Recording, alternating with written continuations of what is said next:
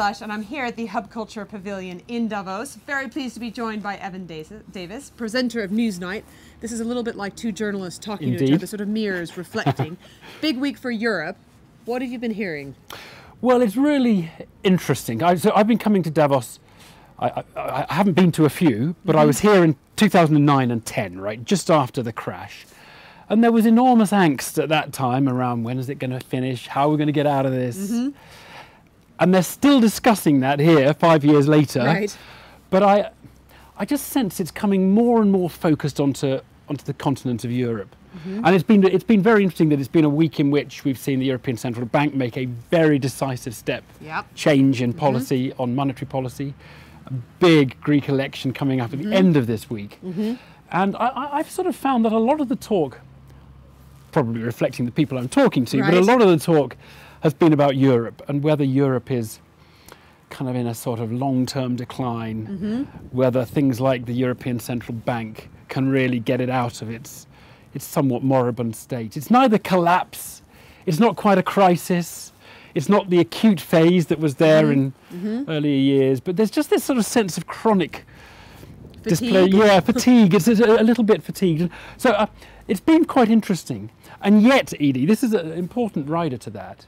When you actually talk to people about the macroeconomics, they're very depressed about Europe, much more than other Yep. parts. But when you talk to them at a sort of micro level about where you spend time Mm-hmm. or where you would like to own an apartment or where you'd like to invest, there's still actually quite a lot of optimism about Europe. I was speaking to a couple of young, one African, one Asian, sort of youngish, Mm-hmm. Yeah. successful investor types.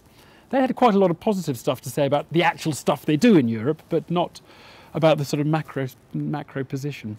Have you been hearing anything about the UK and Europe while you've been here? Well, how long have we got? uh, yeah, so it's, it's quite interesting, isn't it? I was actually the African I was talking to yesterday. Uh, she was saying, well, from Africa, we don't really think of the UK as part of Europe. There's Europe and there's the UK. We don't think of them as part of the same thing. Right. And in a way, I think there is that perception here that the UK economy is not quite in sync with the Eurozone economy.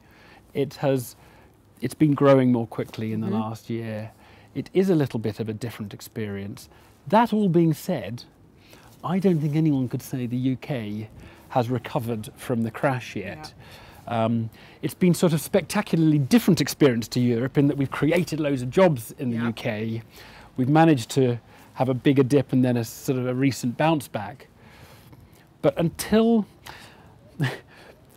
this applies to the whole of Europe, mm-hmm. until you've solved both the problem of growth and deficits, mm. you haven't really cured it. So a lot of countries can say we've got the growth, but we haven't solved the deficits, mm-hmm. and other countries can say we've solved the deficit, but they haven't solved the growth. And in the UK, I don't think we've kind of managed both those. And until you've managed both those, until you've got some growth without having to borrow money, uh, you really aren't, I think, out of the crash. So the UK, I think, likes to think of itself as separate from Europe, but it's, it's, it is still only 20 miles away. Evan, thank you so much for stopping by the Hub Culture Pavilion here in Davos, and I'm Edie Lush.